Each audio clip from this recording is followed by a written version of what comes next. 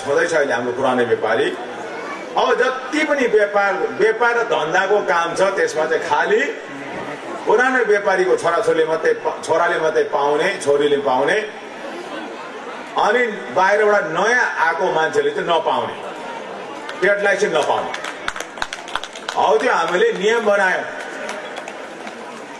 त्यहाँदेखि यो बस्तीमा जहाँ चाहिँ बस्ती एरिया छ बजारदेखि बाहिर त्यहाँ त खालि सब्जेक्ट भएकोले मात्रै पाउने। व्यापार पनि अनि यो खालको एकदम कडा हामीले कानुन बनाएको छ। यो बनाउनु कारण के हो त? बस्तीमा जति पनि काम धन्दा व्यापार बन्द आउँछ त्यो चाहिँ बस्तीकै हाम्रो भाइ बहिनीले सधैँको लागि गरी खाओस्। यो चाहिँ रिजर्भ होस् भनेको हाम्रै मान्छे बस्तीको मान्छेको रिजर्भेसन चाहिँ पुरै। सब्जेक्ट नभएकोले बिल्कुलै बस्तीमा टेल लाइसेन्स नपाउने। होटलको लाइसेन्स नपाउने। होमस्टेको लाइसेन्स नपाउने।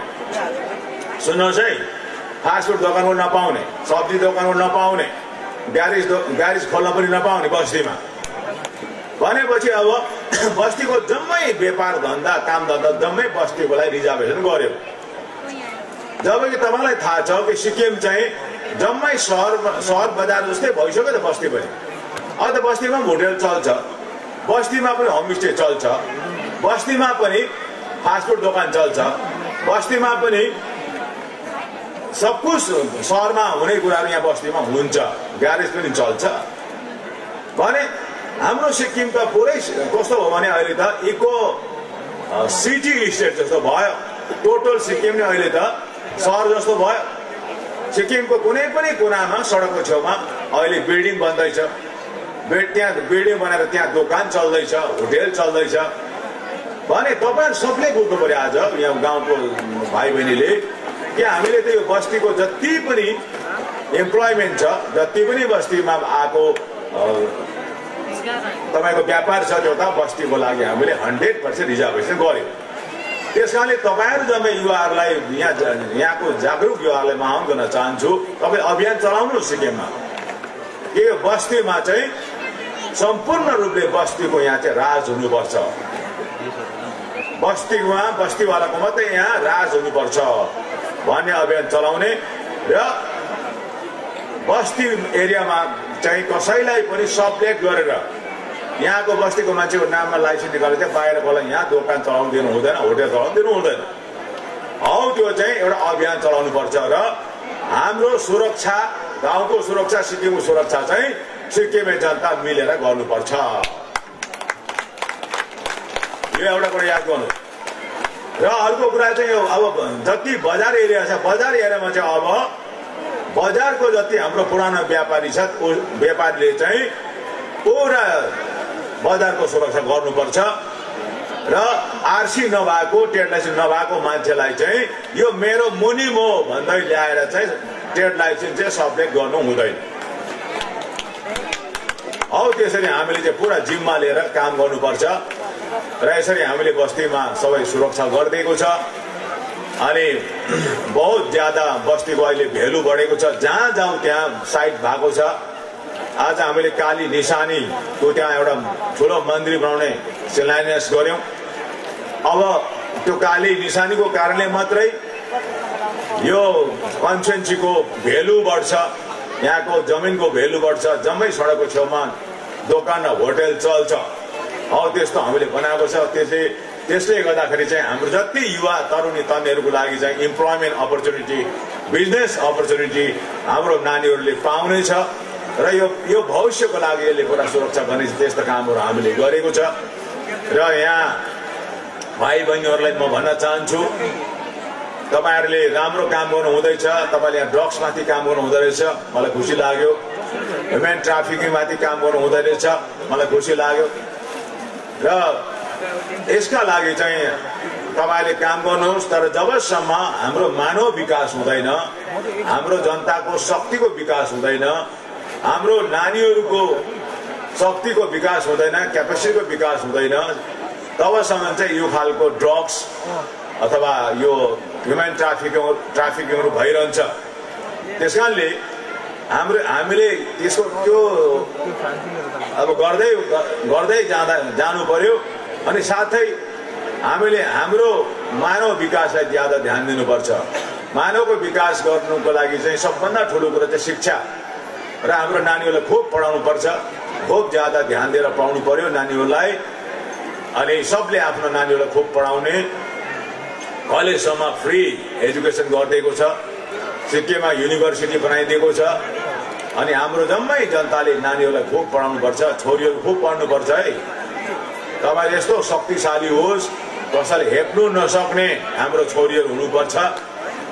अनि छोरीहरू छोरीहरू अब चाहिँ तपाईँहरू एकदमै जाग्नु पर्यो है। तपाईँहरू अब चाहिँ जिउँदो वस्तु जस्तो हुनु हुँदैन है अब चाहिँ। हो जिउँदो वस्तु भने के हो? केटीहरूलाई चाहिँ केटा आउँछ नि हेर्नु। यसो हेर्नु आउँछ होइन। यहाँ हाम्रो सिक्किममा अलिक कम्ती छ तर हाम्रो अरू स्टेटमा इन्डियामा बहुत साह्रो अन्त केटा त हेर्नु आउँछ नि बेहुलीहरू आउँछ घरमा हो चार पाँच सेप्टमा हेर हेरेर पनि त्यो केटाले चाहिँ अब रिजेक्ट गरेपछि त त्यो केटी त डिप्रेसनमा जान्छ। कति सुसाइड गर्छ। आउँछ हेर्छ यसको नाक ठिक छैन भने कान ठिक छैन भने यसको मोटी भयो भने कोही पुड्की भयो भने अल्की भयो भने हो। आँखा टेढी भयो भने के के भन्छ भन्छ नि। अनि त्यसो भनेर चाहिँ अन्त रिजेक्ट गरेपछि के हुन्छ? अन्त त्यो केटी त डिप्रेसनमा जान्छ नि। जिउँदो वस्तु जस्तो लु भन्नुहोस् त। त्यस्तो प्रकारले चाहिँ हाम्रो छोरीछोरीलाई चाहिँ यति साह्रो यो समाजले सताएको छ। यो किन त्यस्तो भएको? यो हुनु कारण एउटै छ कि नारीहरू नारीहरूले चाहिँ यो दुनियाँभरको आदर्श परम्परा जुन चाहिँ नारी हेप्ने बनाएको छ त्यो समाजले हौ त्यसलाई मानेर क्या। अब तपाईँको उखानहरू सुन्नुहोस् त तपाईँको औरतलाई के भन्छ केटीहरूलाई? सानैदेखि सिकाउँछ लु सानैबाट सिकाउँछ आमाले सिकाउँछ होला घरमा। छोरी चेली भविष्य एक्लै घुम्नु हुँदैन है भन्छ। मान्छेले कुनै के भन्छ है? एक्लै बजार नजाए। त ठुली भइसकिस्। मान्छेले के भन्छ? बाबु माइतीको ना नाकमा कुनै के जाति हुन्छ भन्छ। नाक नाक नाक झर्छ के भन्छ? अब त्यस्तो नानावली गरेर सानैदेखि त्यस्तो खालको एउटा के भन्ने अब त्यस्तो खालको साइको पार्छ नि त। सानैदेखि। अन्त त्यो केटीहरूलाई केटीहरू त मान्छेहरूमा कहिले मारिदिएको हुन्छ।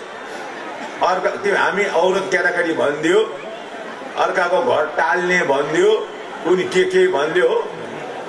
यसो गरेर चाहिँ अन्त पुरा केटीहरूलाई चाहिँ सानैबाट त्यसरी सानैबाट चाहिँ मानसिक तौरमा चाहिँ कमजोर बनाएको हुन्छ। त्यस कारणले तपाईँ जम्मै यहाँ अब त पढेको केटाकेटीहरू हुनुहुन्छ। तपाईँले बुझ्नुपर्छ कि ज्ञानको र शक्तिको है नलेज र पावरको चाहिँ जेन्डर हुँदैन। ज्ञान र शक्तिको जेन्डर हुँदैन। त्यस कारणले केटीहरू चाहिँ कमजोर हुँदैन। केटाभन्दा मजबुत हुन्छ केटाभन्दा शक्तिशाली हुन्छ केटा केटाको भन्दा धेरै केटीकोमा गुणहरू हुन्छ। मर्दकोमा भन्दा चाहिँ बेसी केटीकोमा गुणहरू हुन्छ। सहने शक्ति त अपार हुन्छ केटीहरूकोमा। मायाको त खानी नै हो नि आमा त। मायाको खानी। हो। त्यागको खानी। आमा चाहिँ। त्यस कारणले गर्दाखेरि अब यति धेरै प्रकृतिले तपाईँलाई शक्ति दिएको छ तर त्यो शक्तिलाई तपाईँले सदुपयोग नगरेको कारणले मात्रै यसरी नारीहरूलाई हेपिँदैछ र अहिलेसम्म पनि ह्युमेन ट्राफिकिङ जस्तो कुराहरू दुनियाँभरको रेपहरू रात दिन भइरहेको हामी सुन्छौँ। र हामीले सिक्किममा चाहिँ एउटा कानुन सिक्किममा इम्प्लिमेन्ट गरेको छ पोक्सो भन्ने सुन्नु भएको होइन पोक्सो? अनि पोक्सोले त धेरै मरदको फोक्सो फोडाइसक्यो। चाहिँ कडा कानुन छ। त्यो पनि छ। अहिले हामीले वुमेन कमिसन बनाएको छ गान्तोकमा अनि त्यो वुमेन कमिसन यति साह्रो पावरफुल छ। मेजिस्ट्रियल पावर छ। अनि त्यसमा पनि कहीँ पनि केटीहरूलाई अन्य अत्याचार भयो हस्बेन्डले होस् कि बोयफ्रेन्डले होस् अन्य गऱ्यो भनेदेखि त त्यसले ठिक पारिहाल्छ। अहिले बाई पहिला त बुढाले धोका दिएको मात्रै केस गर्थ्यो नि। अहिले त बोयफ्रेन्डले धोका दिएको केस गर्नु थाल्यो। मलाई कम्ती मजा लाग्दैन। अस्ति उता नाम्चीको एउटा केटीलाई चाहिँ एउटा केटाले एउटा बोयफ्रेन्डले धोका दिएछ। अब त्यो केटाकेटीहरूको आजको जमानामा त के के भन्छ लिभिङ टुगेदर के के भन्छ नि? अब त्यस्तो लिभिङ रिलेसन रहेछ बसेछ छ सात वर्ष नि। त्यहाँदेखि बिहा गर्दैन भनेर। त्यहाँदेखि त्यो केटी त कडा रहेछ है कडा रहेछ कि? कुदेर गएर चाहिँ कमिसनमा।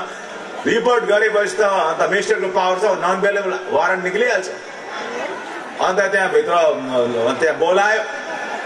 त बिहा गर्छस् कि झेल जान्छस् भनेको त हजुर बिहा गर्छु भने। अन्त बिहा भइहाल्यो।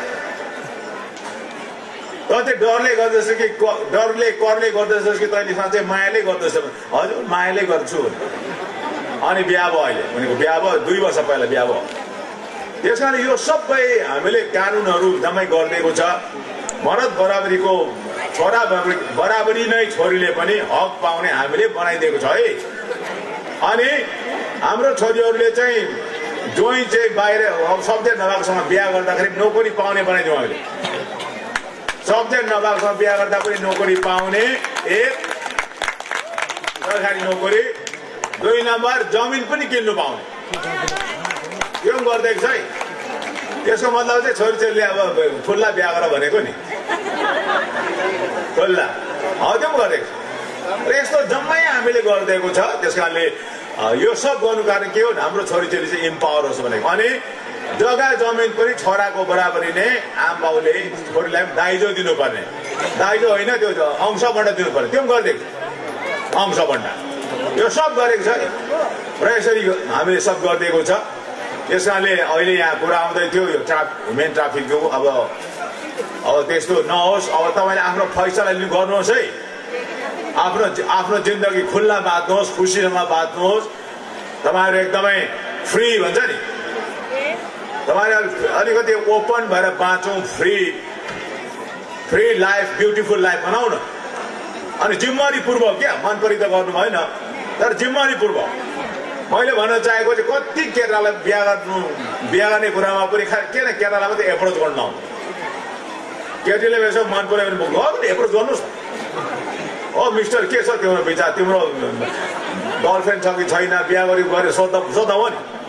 अनि गर्लफ्रेन्ड छैन बिहा पनि गरेको भन्यो भने ठिकै छ अन्त भनिहाल्नु। कस्तो तिमी र म जिन्दगी सँगै बिताउनु सकिन्छ? यसो एक हप्तासम्म विचार गरेर मलाई भन भन्नु। एक हप्ताको टाइम दिइहाल्ने क्या? अनि यसरी केटीहरूले तपाईँको बडा जिम्मेवारीपूर्वक जब बाँच्न थाल्यो भने नि केटाले हेप्दैन। त्यहाँदेखि छान्न आउँदैन तपाईँको केटीहरू आउँदैन। र त्यो चिजहरू अहिले समाजमा यो बहुत ठुलो यो परिवर्तन गर्नु साह्रो छ। ठुलो कुरा हो। समय लाग्छ तर पनि यसमाथि पनि तपाईँले चिन्तन गर्नुहोस्। मैले यो ह्युमेन ट्राफिकिङले गर्दा यो कुराहरू उठाएको मात्रै हो। र त्यसरी तपाईँले मनमा लिनुहोस्। हाम्रो समाजमा अहिले थुप्रो हामी उदार भएर काम गर्दैछौँ। अहिले सिक्किममा जेन्डर डिस्क्रिमिनेसन छैन। हामी त अहिले यो तपाईँको सिक्किममा सुन्नुभएको छ गे सोसाइटी लेसबियन सोसाइटी भनेर सुन्- सुन्नुभएको छ नि तपाईँले?